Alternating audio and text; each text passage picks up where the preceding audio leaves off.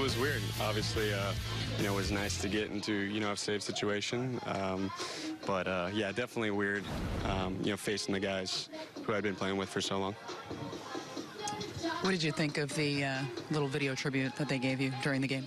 That was neat. Um, you know, I got traded late in the, the day, so I think uh, um, a lot of people didn't kind of get to say their goodbyes, so that was kind of their way, and that was that was pretty cool. I appreciate it. It seemed like you were a little hesitant at first to, to tip your cap to the crowd, and Chad Green kind of urged you along there. Yeah, I didn't, I didn't know what to do. I didn't know what they wanted me to do. Um, so yeah, it's kind of awkward when you get put on the spot. As far as your stuff tonight, Aaron Boone just said he felt like it was maybe a tick up. Did you feel better out there on the mound?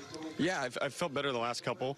Um, still kind of, it seems like I make the one bad pitch and it gets hit um, right now, whereas, um, you know, the movement's getting back to where it was. Obviously, I felt pretty good. I made pitches, you know, I get a double play ball and things like that. So, um, you know, I'm getting close. Um, and I think the more I get out there in those types of situations like that, um, I think that the faster it's going to come because it kind of gets your mind off of, you know, working on delivery or whatever. You're just out there competing, trying to make good pitches. With the pitch up to go the opposite way, and then I guess CD you didn't get it quite down far enough, right? Yeah, I I looked at CDs for a while. It was actually, it was actually down, but just down middle. And he's got, you know, the loop swing I've watched for a long time. That's that's where he's going to do damage right there if you don't get it low enough. But yeah, uh, Jonesy did a good job going away with the ball that was off the plate. So, um, yeah, just make better pitches. But, um, you know, I was happy to get out there and, and get a win for the team after the offense clawed back. Avoid home runs pretty impressive from the bullpen, too. Yeah, absolutely. Got a good vantage point of that. You know, he did a good job. Same with Neil.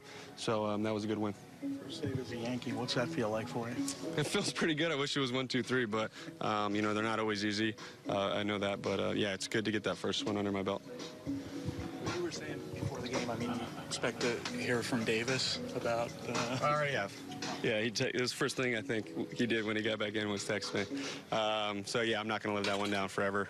Um, like I said, it's tough when you're facing you know your former teammates because you know they're going to give you some crap, you know, especially after something like that.